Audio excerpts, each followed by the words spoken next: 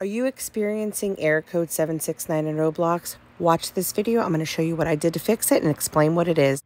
So upon doing a quick Google search for error code 769 Roblox, the first result that comes up for me is the firewall is blocking the connection. If you are encountering this issue while running a modified version of the game, it's possible that your firewall is actively blocking the connection to the game server due to a false positive. That is from appuals.com.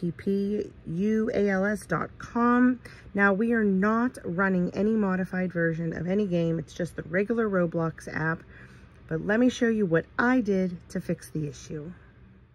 So what I did is delete the mobile security app. Ever since I downloaded this on my daughter's tablet, that's when she's been experiencing error code 769. So I did this, deleted it, and restarted the tablet and it's fixed. And the last thing I want to say is don't uninstall mobile security if you actually need it. In our case, I have it set up to where I monitor my daughter's tablet, so we technically didn't really need this, never had an issue. But if you do have an issue and you need mobile security, this might not be the best option.